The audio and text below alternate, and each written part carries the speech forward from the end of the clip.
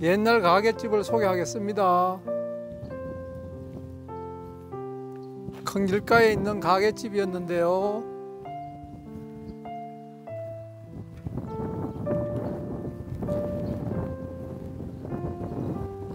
집은 바디에 지어져 있었습니다. 밭이 200평 정도 되고요. 뒤편에 산이 200 몇십 평 됩니다.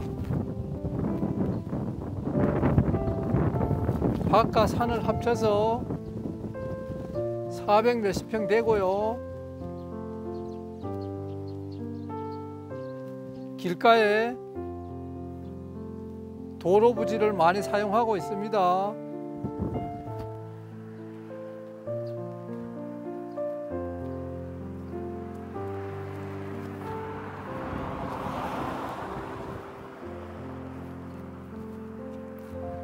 차들도 많이 다니는 큰 길이고요.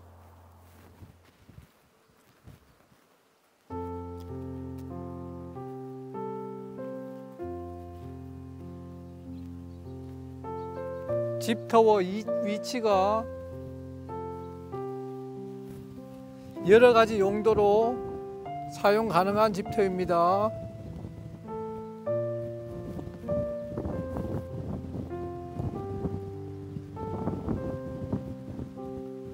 주변의 환경도 아주 좋습니다.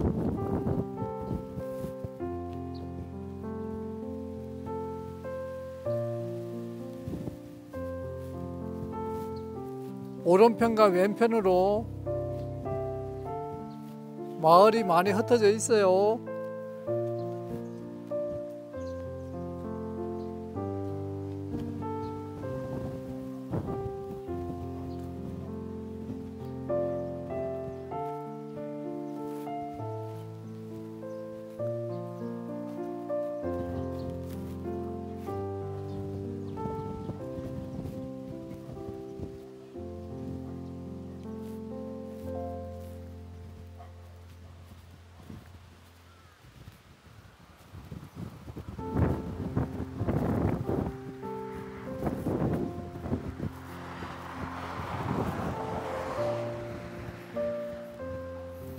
강아지 한 마리만 집을 지키고 있습니다.